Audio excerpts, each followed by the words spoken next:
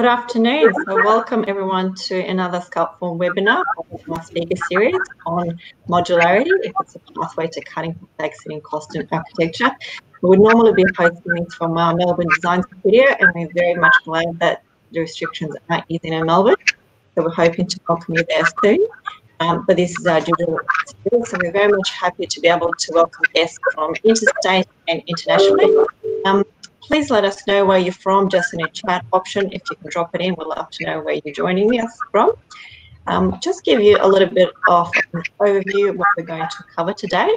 So first of all, we just wanted to acknowledge the traditional owners of the land and pay our respects to the elders past, present and emerging. Um, I will shortly pass you over to our Managing Director, Jeremy Napier, who will give you a background on our modular system. Um, as you might know, Sculptform is known for delivering custom solutions with our modular system. So that will give you a little bit of background while we're actually holding this talk on modularity. Um, we'll then go over to Jamie um, over on sunny Gold Coast from Hutchinson Modular, um, Eduardo from Sydney, and Dr. Tim O'Leary from University of Melbourne. So we'll have some time for Q&A at the end. So if we're going to ask you all, please drop your questions into the question tab. Once our speakers finish presenting, they will be answering those live if they can. Um, otherwise, we'll have the discussion at the end and we'll also send a follow-up email um, answering all your questions. So we do love to know um, your feedback as well. At the end of the presentation, we'll draw out um, our Lucky Winner Prize, um, Mold and Don Pack. Um, that will draw out from people asking questions, so make sure you stay uh, till the end so you can let us know where to send your package to. Um, and that is all from me, and I will pass you over to Jeremy.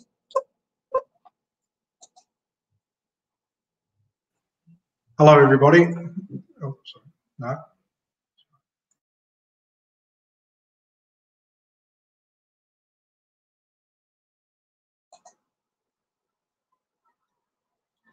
Jeremy, you're on mute there. Sorry, I'll get this right. Um, hello, everybody. Sorry about that. Um, really glad to be part of this today. Modularity is a part of everything we do at Sculptform. It's part of our heart and soul and part of our origins. Um, and we're excited in all things connections and clips and Lego blocks, as you can see here. Um, so the connection between the aesthetic element on the right and the substrate interface on the left is the clip. And our, our clips are really our, our modules, if you like, or that connection between the batten and the clip and the track. Um, so where we really add value to our timber and aluminium connections is the effects that you can get through modularity um, achieved through our clips.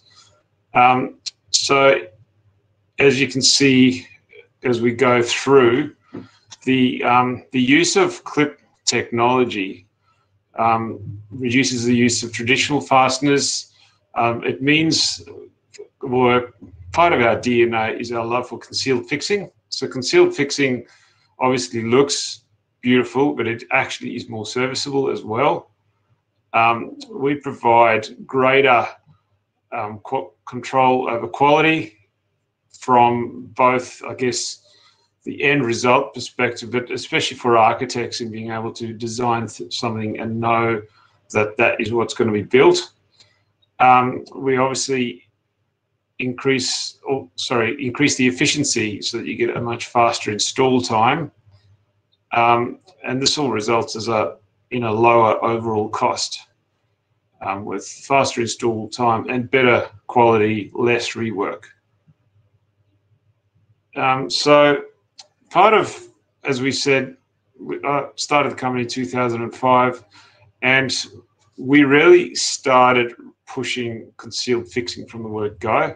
So we were one of the first to have an external cladding system installed hardwood with concealed fixing. Um, we developed a concealed decking clip as well. So our we really started in high-end residential architecture and focusing on exteriors.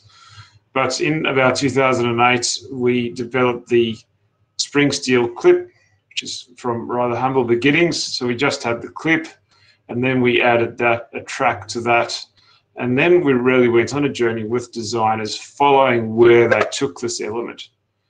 And um, which landed up in 2013. That designers started using this concept on ceilings and therefore we developed different track interfaces to for different applications as you can see there 2018 we really reinvented the product um, and we internally call our latest clip the dovetail clip really inspired by the dovetail joining technique and it's a um, it's a die cast aluminium body with a spring steel um, stainless steel wire inserted, and it has got complete invisibility and very high hold strength. So um, with that platform, it takes many forms. Um, just this year, we launched our Click on Cladding product, which is sort of light years away from our first one in 2005. Um, so it's an aluminium extruded product, but on the same reliable platform um, and can be used for commercial exteriors. And we'll go through some of our projects. Um, this is our studio, which we did with Woods Bagot. You can see it's still the same platform, but they challenged us and we started using a steam bent hockey stick. On the one on the right, we did that with Breathe Architecture and DKO. Um, in Arcadia in Sydney, once again, the same platform, but we introduced a curved batten to, which could take a curve. And various projects um, have different elements, but on the same platform. Um, and finally, we end up with a the Veil, which is part of the M5 project um, in Sydney, which it's really creates a sculpture over the tunnel entrance. So this shows the, the versatility of a basic, robust Lego block. So we look forward to what the rest of the presenters have for us. Thank you. Thanks, Jeremy. It's always good to be reminded of the journey we've been on. Um, now we go to our first speaker now. He's coming to us from Hutchinson Builders. And you might know Hutchinson Builders is one of Australia's largest privately owned construction companies with a turnover of over 2.8 billion um, last year nationally. And they've delivered over the last decade over $800 million worth of modular products. So Jamie's role as the BDM is very much hands-on and he is involved um, in all of the process from the initial budget estimates um, to value and design management right through to contract negotiation. So um, looking forward to what Jamie has to present. Uh, hello everybody. Um, I'll just get my slides up.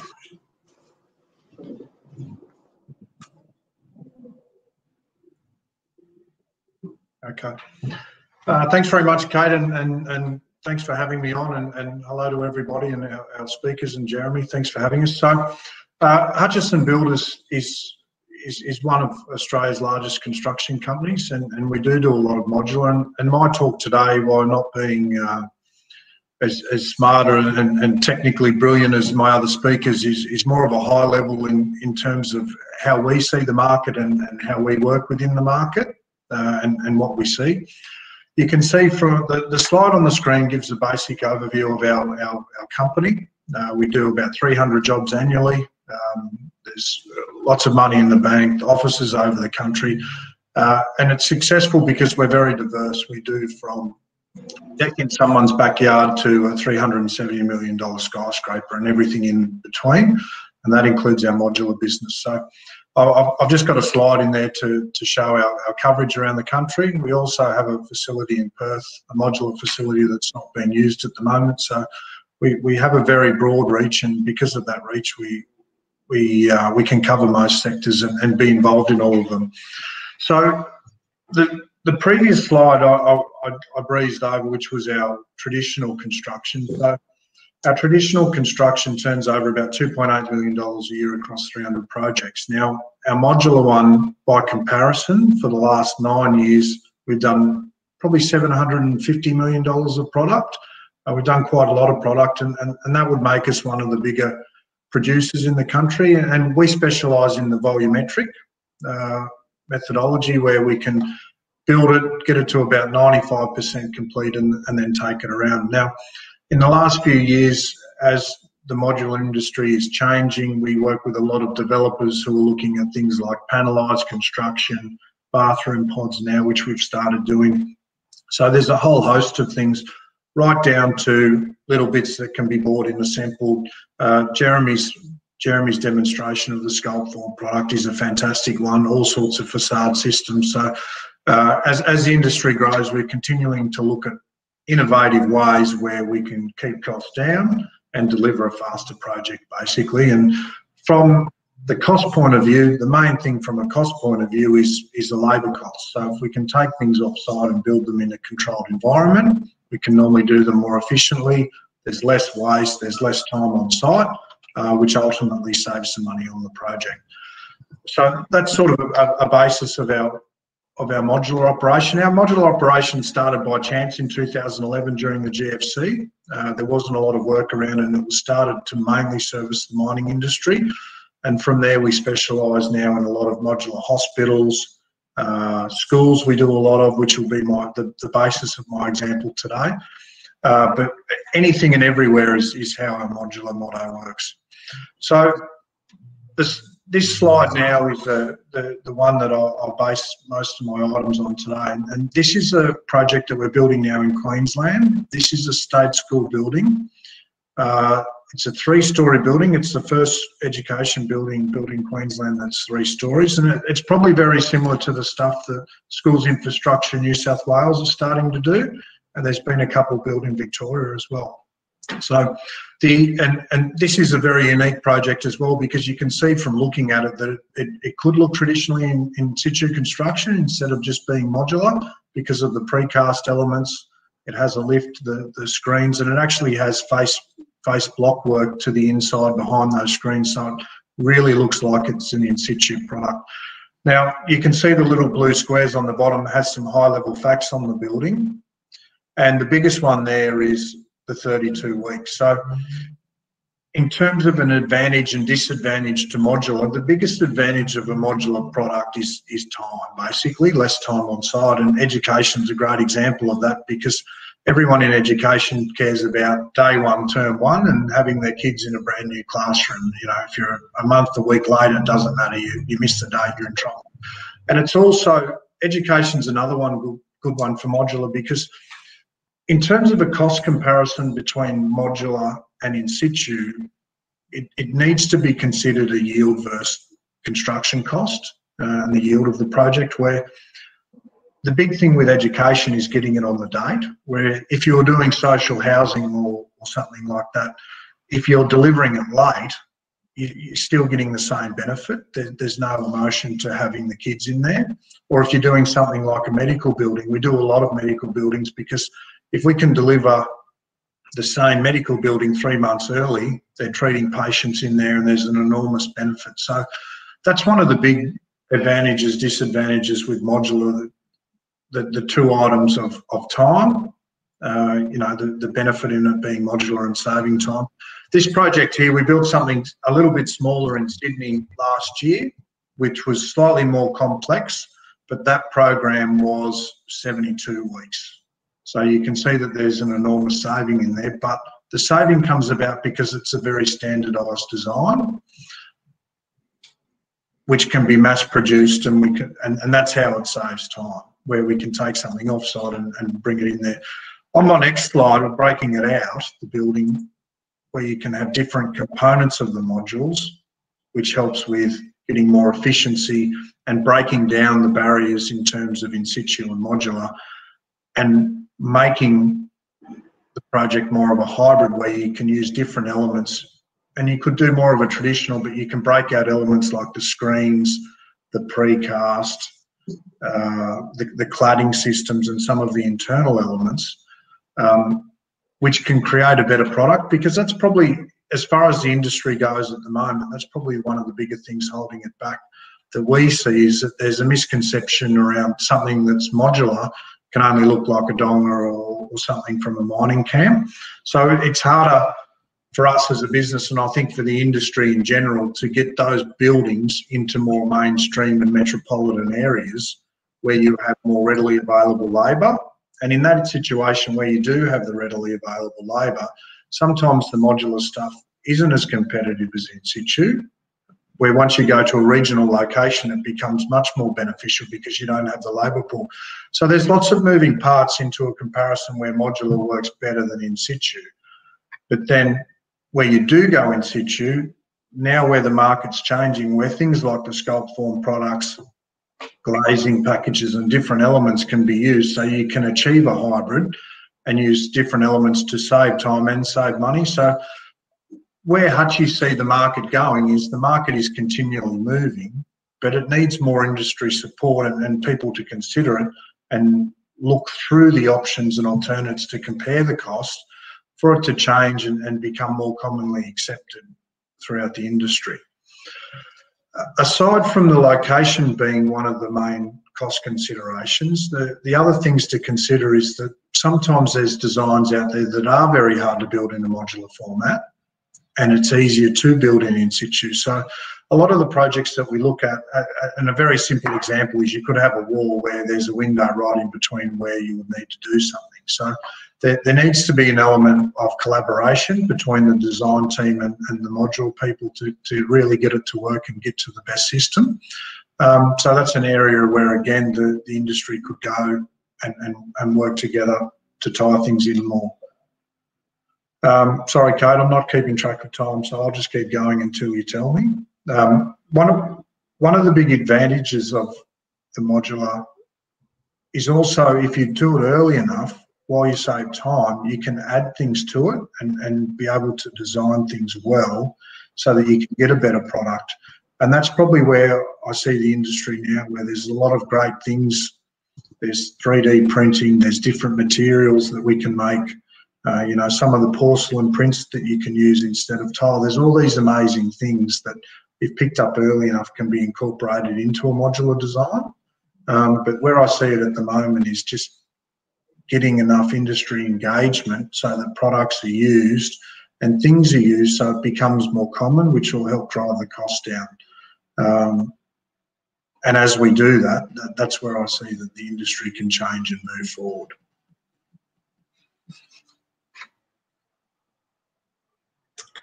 That's great, Jamie. I think um, you've had some questions coming in there as well. I um, Okay. Uh, yeah. So the, the tallest building that we've built um, would be the, in in a modular format. We did something that was three stories.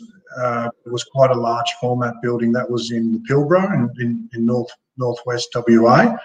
Uh, Hickory do it very successfully in Melbourne, where they have their own system where they can can build up up to quite high. But from a fire rating point of view, once you get over three stories, that fire rating design is you, you can go right up from there. That's that's the cutoff between your fire rating. So the, the same design that we have for three stories, you could take all the way to 20 stories. Thanks for um, for answering that. Um, and I think we'll move on to our next um, presenter there. That's me, right? Uh, it is yourself. Yeah, let me just get um, the slide open. So um, Eduardo is our next presenter. Um, he's joining us from Sydney. He's associate lecturer at University of Sydney, um, and he's a director of Barada. Um, this is actually our second time approaching Eduardo to present. And if you joined us earlier in the year, a few months back, for our webinar for the makers behind the Australian Timber Design Awards, uh, you heard the presentation from one of his other project, which was the Hexbox Canopy. Um, and just a little side note, uh, both of them are still in the running for the Australian Timber Design Awards. They haven't been announced, so we're still all friends, so we're good. Um, and I'll pass you over now to Eduardo. I'm really looking forward to hearing what he has to say. A lot of his work focuses around the digital fabrication. All right, thank you so much, Kate, and yeah, thanks again for the um, for the invite today. Um, I am going to sort of talk about two projects, or I'll try to talk a little bit about this project that has also been presented before, which sort of bookends a decade of, uh, of work looking into sort of forms of, of digital fabrication. Um, I also just wanted to throw in here as well, because we're on the sort of subject of, uh, of modularity was um, uh, Jean Prouvé, a French architect, industrial designer, designed a demountable house back in 1945. So, you know, we're looking at something which is almost you know, 80 years old here. And so the idea of modularity and prefabrication has also been around for an extremely long time. And it's, um, it's sort of interesting to see why it's taken such a long time to sort of um, appear as a sort of more uh, dominant thing within the market. And I think that's probably because um, of the um, so many sites not necessarily being appropriate for implementing sort of a sort of a modular factory made uh, product.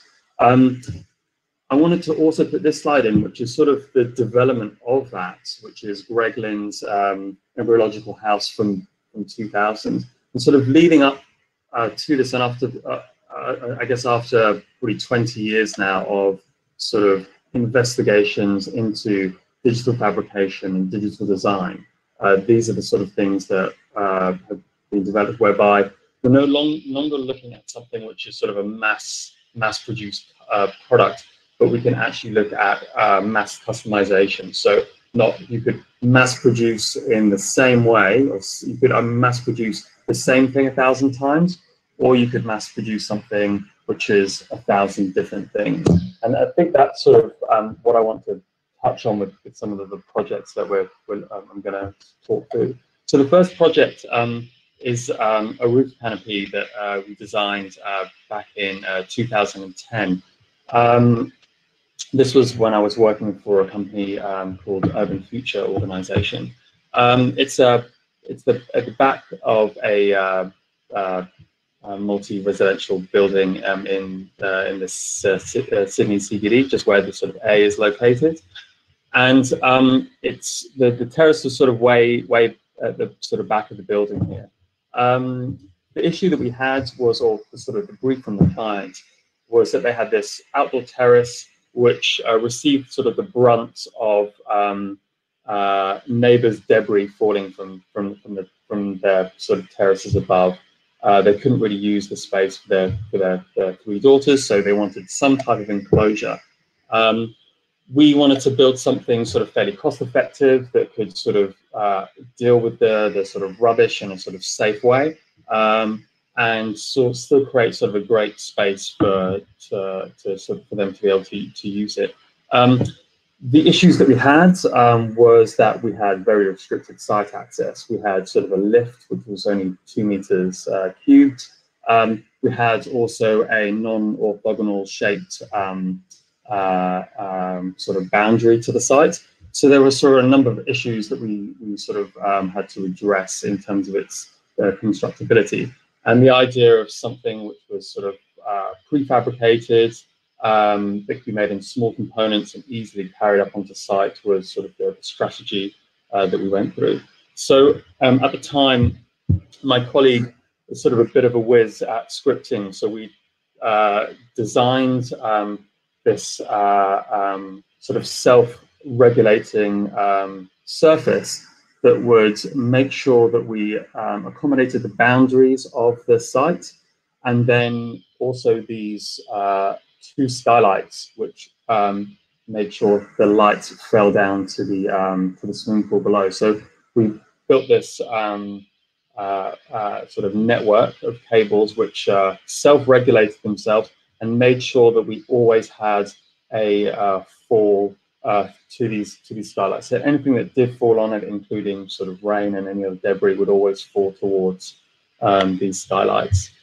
Um, so as a result of sort of generating these uh, these sort of surfaces, you're you're sort of left with um, like a, either a mesh or sort of um, a, a, contour map, which you need to then rationalize and and, and generate some type of uh, component from.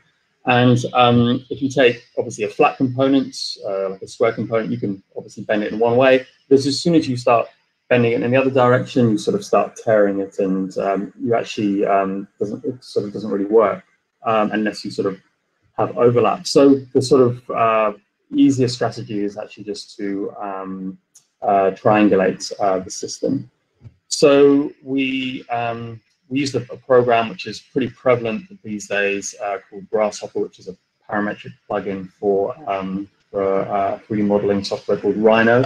And we built um, everything within there. So everything had a relationship to each other. So if you moved one element, everything else updates.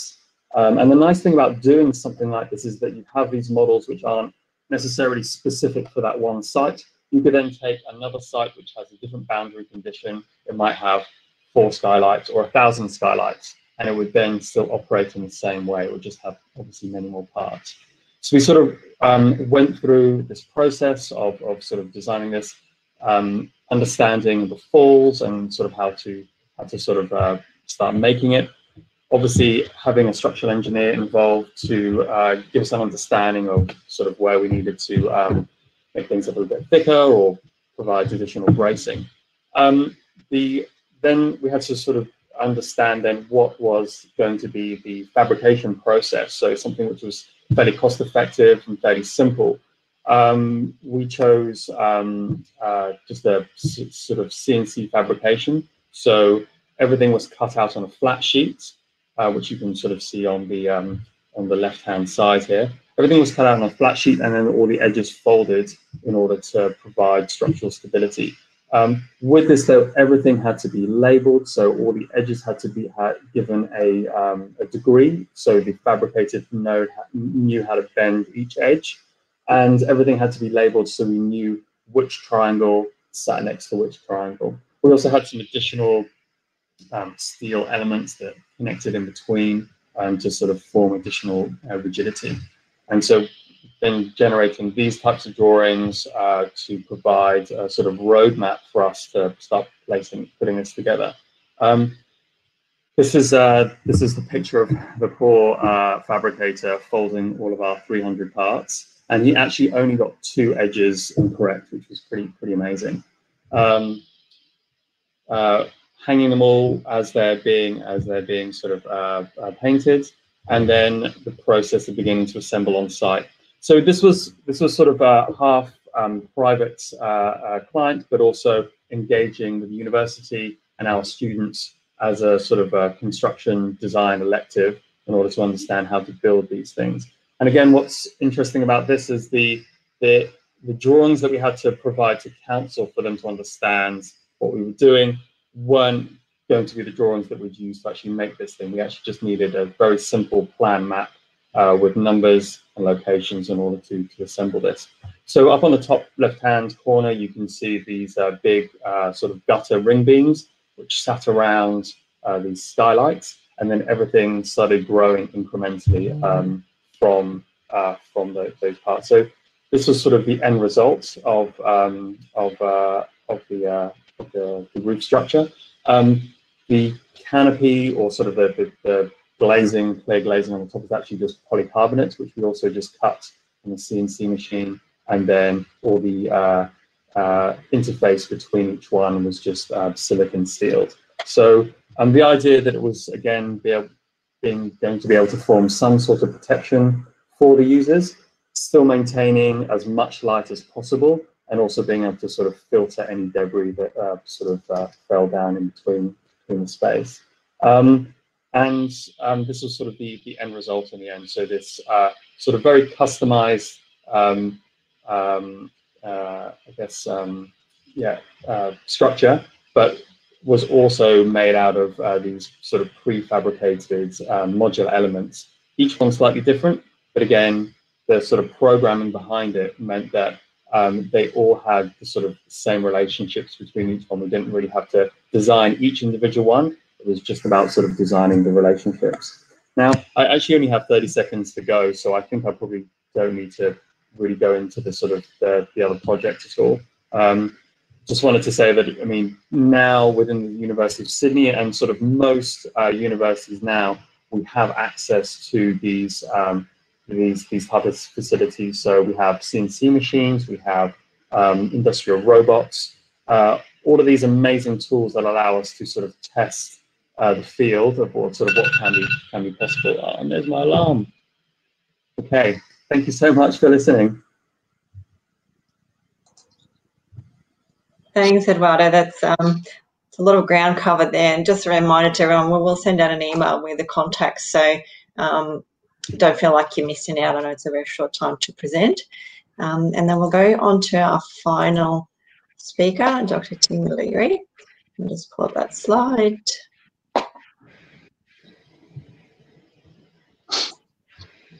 He's um, full-time lecturer at University of Melbourne, teaching um, cost management. So his research and teaching industry collaboration cover the fields of construction, economics and management, property development, residential, energy efficiency, housing markets, low carbon, smart sustainable buildings, information technology and BIM. That's quite a mouthful there. Uh, Tim holds Masters of Architecture degree from University of South Australia and as well as a PhD in the area of sustainable energy engineering of buildings. Um, and he has particular interest in achieving greater lifetime affordability for housing in Australia. I'll pass you over to Tim. Thanks, thanks, Kate. I and um, I'm just bringing in my slides, and it's a. I'm delighted to be uh, invited by Kate and the team at Sculptform to uh, to be part of this seminar. And um, yeah, I, I, have this academic background across research, and um, I um, I'm not really going to be talking about um, the uh, you know in depth in any any way, I suppose. Uh, uh, case studies uh, and um, you know my own research has lead more towards um, energy performance and environmental performance in buildings. But I do teach cost management, and I'm a quantity surveyor, and my background is in uh, analyzing building costs. So I've got something to say on uh, the cost, and and maybe um, ties in what what Jamie said from a his perspective as being someone out there at the coalface, and and uh, also things about uh, things maybe tying in with with Eduardo from the uh, the research and and what I'm really presenting is um, not what I'm doing myself uh, daily, but there's a lot going on in the space of modular and prefab in research, and I'll uh, be talking about that. So.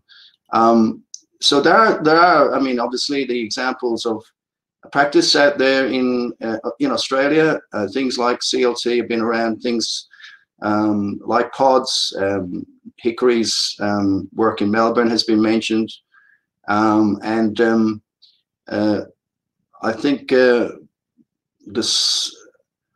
Uh, getting back to, to the slides, there are.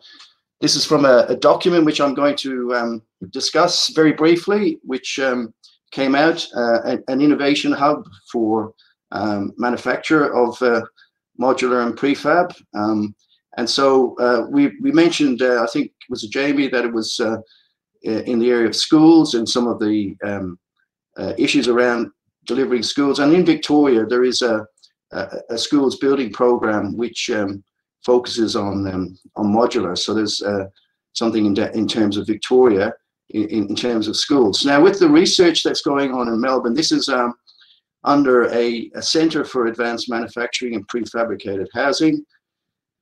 You'll see there a reference to the ARC, Australian Research Council. That's where um, uh, university researchers go to get funding for different projects, and this is um, uh, being funded. It talks about um, over four years, about $6 million of funding. So there's quite a bit going on.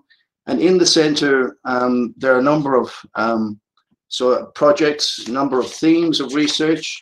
And I think we'll be sharing the link to this um, as part of the presentation so you can um, delve more deeply into um, things around um, advanced building systems and assembly, innovation in design, uh, looking at new materials uh, and hybrid systems, uh, and also um, more broadly supply chains and, and financing. So um, there was a, um, uh, a symposium uh, around this time last year, which brought together a lot of the uh, researchers and and uh, PhD students and academics in this field. So um, everything from looking in you know individual topics like acoustic performance to um, life cycle assessment uh, and so forth. So I myself am not a chief investigator on any of these um, projects, but um, in our link, um, you'll be able to get you know closer to what's going on.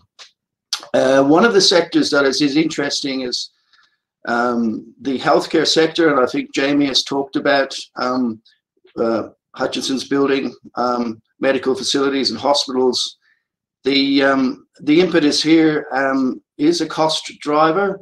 Um, they've you know governments you know have found hospitals are very expensive buildings to build and and and they and they are by their nature with all the stuff that has to go into them but there's a big driver for um, bringing down the cost. And so um, this is an example uh, through OSCO of their approach, and um, uh, they they've been doing some some work in that in that area.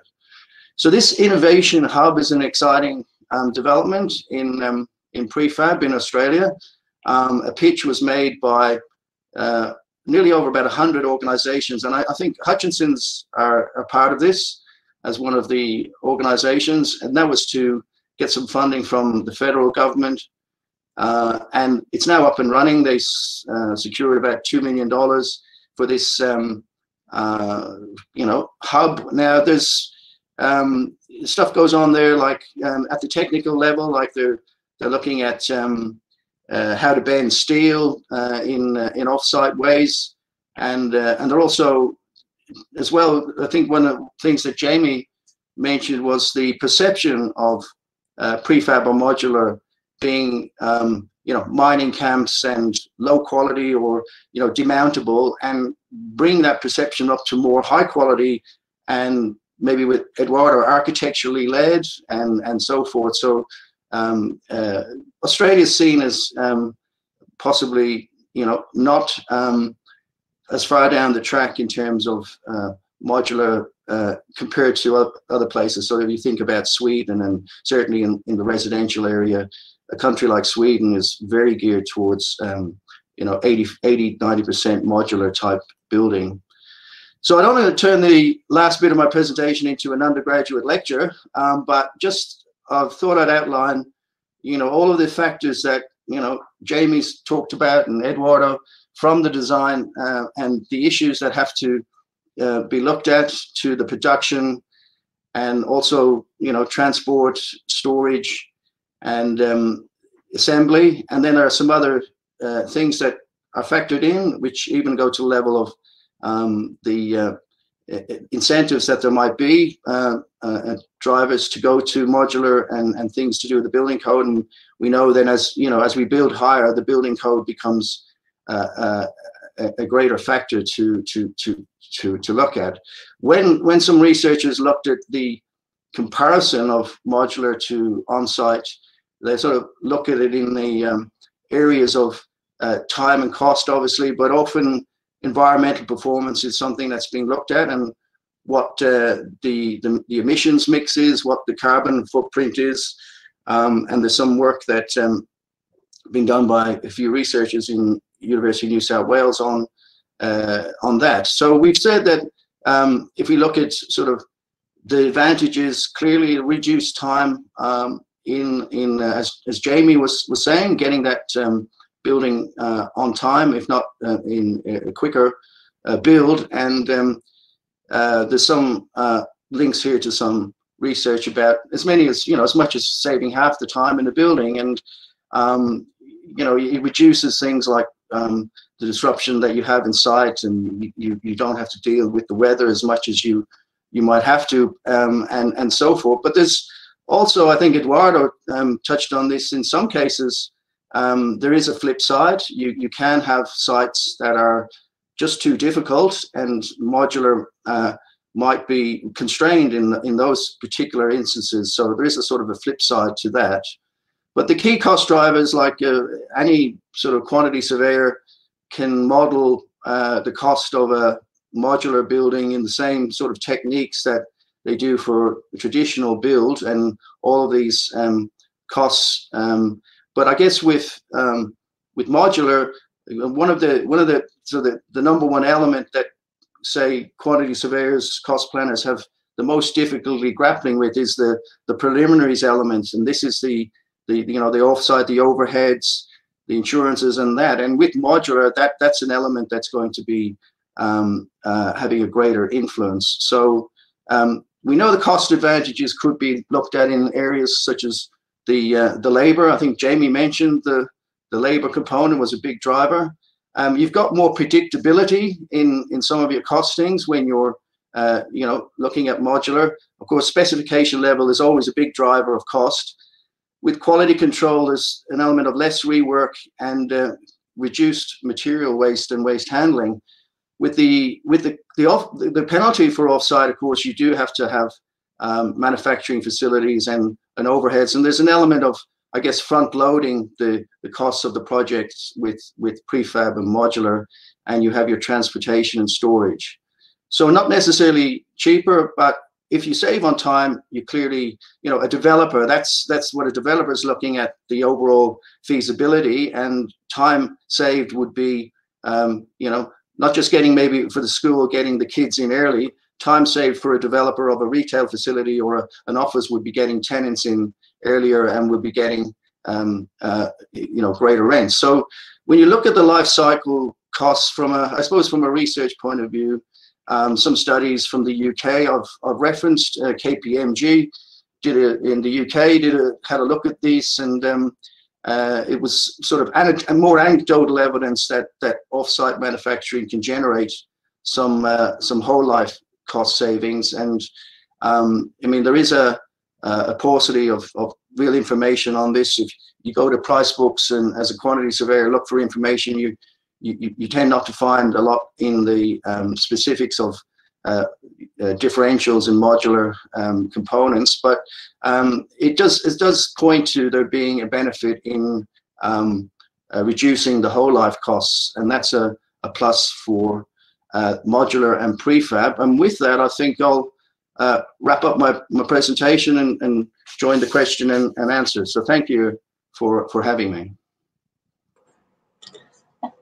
Thank you, Timothy. That was a really good presentation. So I know we had some questions coming in and some of the speakers have been answering them. Um, I'd actually like to put um, an overall question to everyone since kind of in an open forum in terms of modularity and modular construction. Where do you see the development? Where's the biggest area of growth? Um, and um, we probably can take it from the top so nobody's fighting for who's speaking next.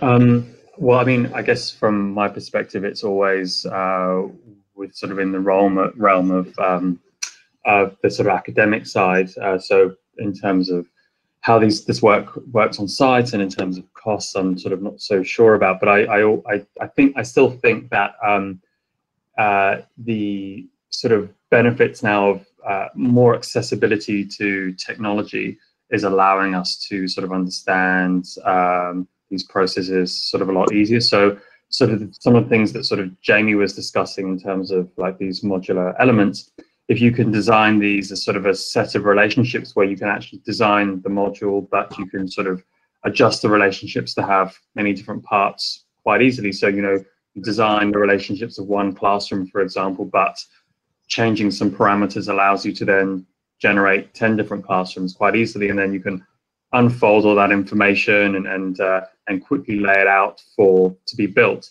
I see sort of that process as being uh, really interesting, folding into something which is in, instead of just making the one thing many many times. I sort of see that as uh, really sort of adv- advantageous. It's almost like a hybrid, isn't it? And um, crossing the bridge between custom um, construction so that um, you're not losing that architectural edge as well. Yeah, absolutely.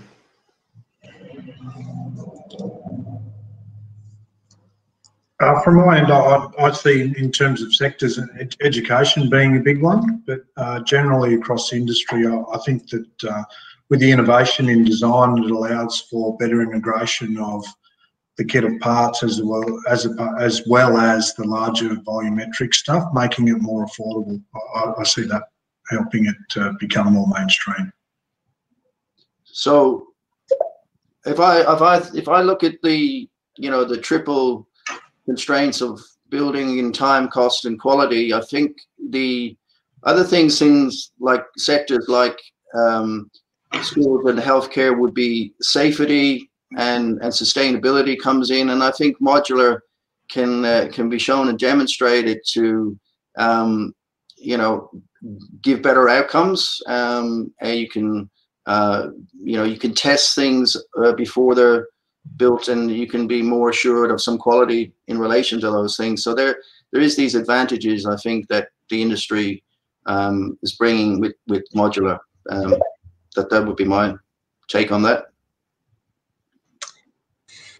Um, so where we see it from our perspective as a um, as a building material manufacturer is the the gap between um, design software and 3D modeling software like you know Rhino and Grasshopper and the um, and building technology is is pretty big you know it's like at least 20 years apart. Um, and one of the things about modular is in effect what those parameters or constraints that Eduardo was putting into Grasshopper there are actually elements of a Lego block, if you like. I mean, really, what you created Eduardo, was a type of Lego block you put into Grasshopper. And um, where we see our, where we're trying to push our development as a company is being able to um, develop that interface between the design software and the data that it produces and the factory floor to produce each component. So you mentioned even the labeling, like something as simple as where does each piece go is actually a big deal. Um, and so the handling and labeling of each component, all the logistics around that, um, enables us. So we're actually quoting on some some large public jobs at the moment um, where there's a completely 3D type ceiling, um, and it's not just a series of um, a series of the same shape, like it just evolves across the whole ceiling or across thousands of square meters. Well, doing that off-site is absolutely critical because the risk we haven't really discussed much the risk on a commercial building site of things blowing out is just enormous. It's just a complete nightmare. So I don't know if that makes sense. It's pretty exciting the whole bridging that gap between the drawing and the and the finished project.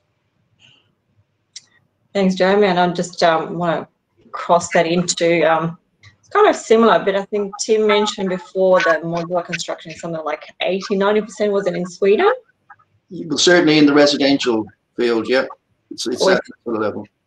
Which is huge. So obviously we have um, there's a lot of opportunity there and we've covered a lot of the advantages of it. What's the biggest um, opportunity for us here in Australia um, the area of improvement. So to make it modular construction more, um, not sure that we want it to be 80, 90%, but.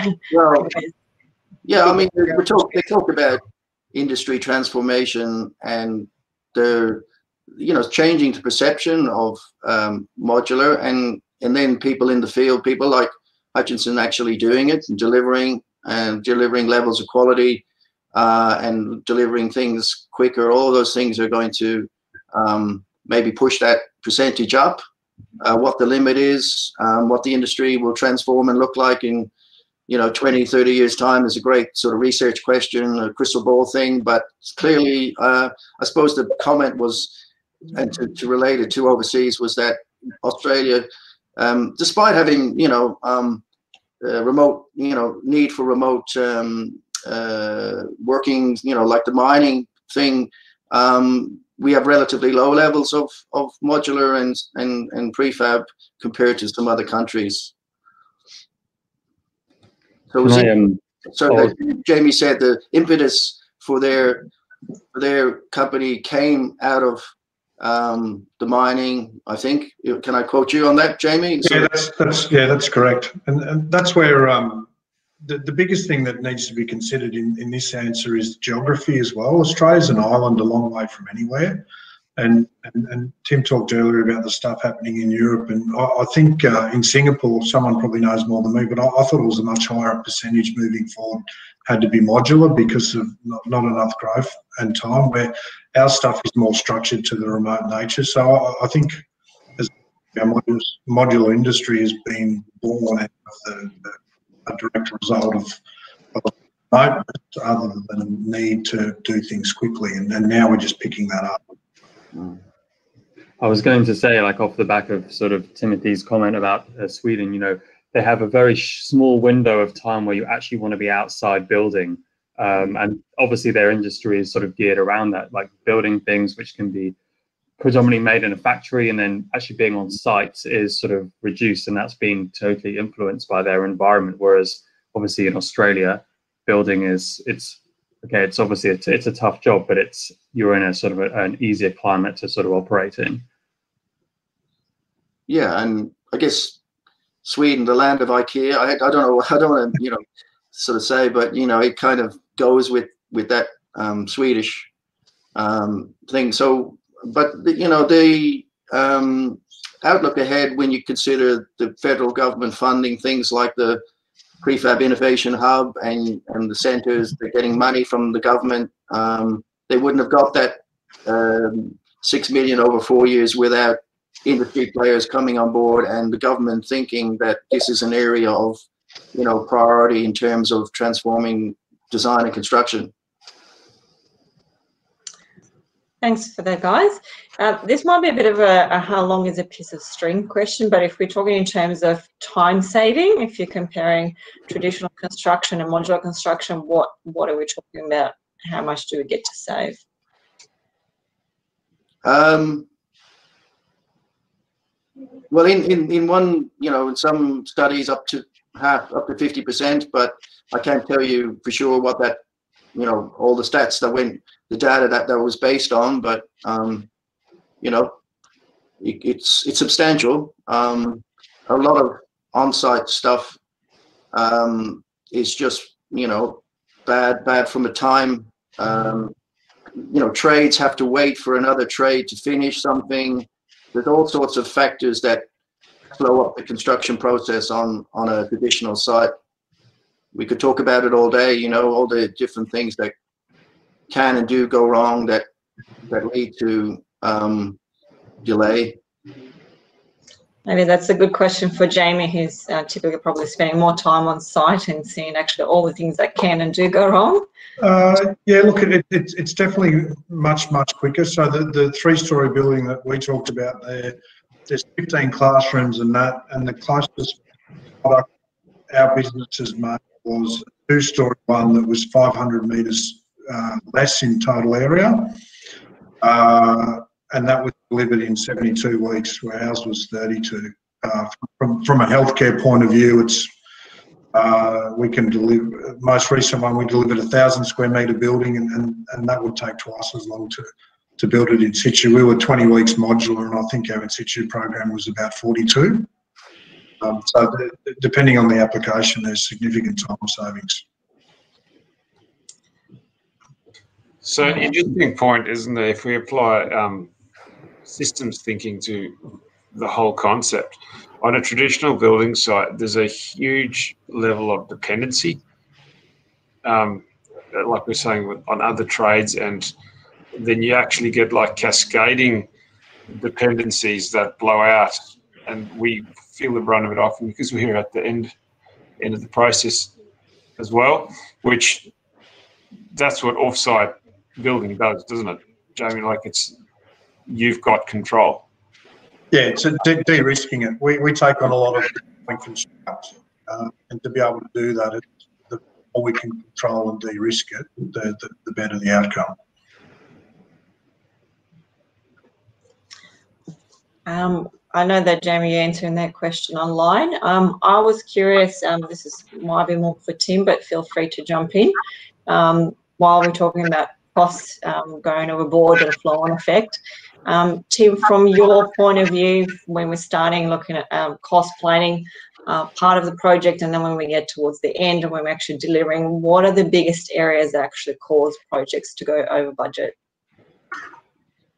Well, um, I guess um, it depends on the procurement methodology and you know what what's in the budget and often cost overruns are not so much about the building, but about um, other bits that aren't so much the building. Um, you know, you have to take a very holistic view. Say with a hospital, um, you know, could be the record management system that goes in, which is a very specialist thing is what blows the budget. But generally with buildings, obviously the the upfront, um, the time to influence uh, cost is is in the early stages, um, and um, and so uh, I think modular prefab would bring a discipline to um, the early stage design that in some cases in um, this world we live in of design and construct, it gets some of the design gets kicked down the road into the construction phase or overlaps with construction and you're changing things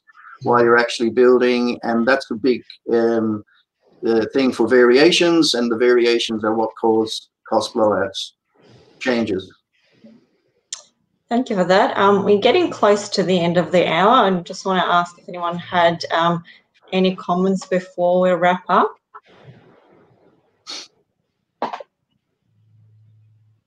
Um, if not, what I'll do now, I'll just draw out a winner of our lovely Moët and Chandon pack. And as I said, that comes out of the question section. Um, now, I hope I pronounced the name right there, Christian Trusen. Um, so if you're here, just yell out in the chat um, that you're still online and we'll grab your details from you. Um, and while that's coming in, we've got some contacts there as well. So obviously the main Sculpt, uh, form uh, contact number and we'll be able to direct you to the right area. Um, if you're looking for Melbourne Design Studio, visit Blake Proud as our business development and studio manager um, that he can take um, take you through what we're open there. And if you're looking to collaborate with us on any future events or like to suggest a topic for us to present to next time, uh, get in touch with myself. And we've got Christian online, which is great. It is your lucky day, Christian. Yes. So um, I'll drop you an email or grab your details to send out um, your pack. And in the meantime, thank you very much, everyone, for joining us and to all of our speakers and presenters. Um, I hope everyone enjoyed, and we'll see you next time. Thanks for coming. Thank you. Thank you. thank See you you later, everyone.